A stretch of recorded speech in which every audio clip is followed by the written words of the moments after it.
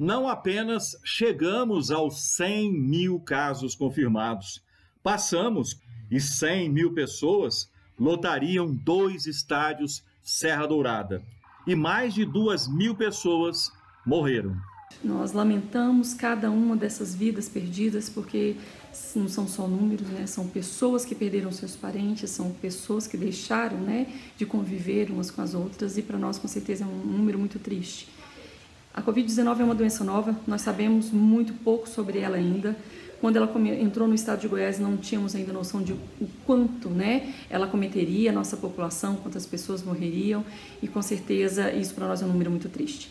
Espanta a velocidade da doença. Você deve se lembrar, no final do ano passado, o começo deste, a Covid-19 era coisa de chinês, depois chegou à Europa, começou a assustar, principalmente na Itália, e em fevereiro desembarcou aqui no Brasil. Os primeiros três casos em Goiás surgiram no dia 12 de março. E ainda a gente levaria quase dois meses, 55 dias, para atingir os primeiros mil casos. Não parecia coisa preocupante. Foi no dia 6 de maio, mas aí começa uma escalada alarmante. Depois desses primeiros mil, primeiros mil casos, surgem 10 mil casos apenas 39 dias depois, no dia 15 de junho, portanto, já bem recente. E logo depois, já em julho, a doença diminui a aceleração, mas mesmo assim os números são estarrecedores. Ó. No dia 23 de julho, portanto, outro dia, no final do mês passado, nós atingimos 50 mil casos. E de lá para cá foram apenas 22 dias e nós dobramos o número de infectados. Chegamos aos 100 mil casos neste fim de semana, dia 14 de agosto. Embora a gente tenha esse número de casos confirmados, na verdade, o número de pessoas que já tiveram contato com o coronavírus no estado é muito maior. Só para a gente ter uma ideia, ah, no último inquérito populacional em Goiânia, né, feito no final de junho e início de julho, e aí é uma amostragem, um acaso da população, se viu que quase 7% dessa população de Goiânia já teria tido algum contato, né, já teria uma resposta imune ao coronavírus. Em números absolutos, Goiânia lidera essa escalada. Aparecida vem em seguida com pouco mais de 15 mil infecções confirmadas. Proporcionalmente, o pior caso é o de Mozarlândia, no Vale do Araguaia. O segundo pior é Rio Verde, com quase 8 mil incidências.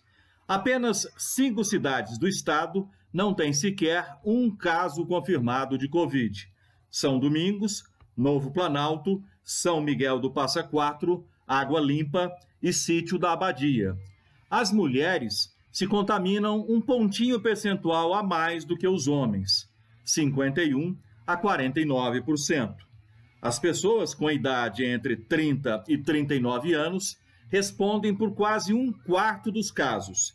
São as mais contaminadas. E metade das pessoas que contraíram a Covid são pardas, morenas como eu e a maior parte da população de Goiás.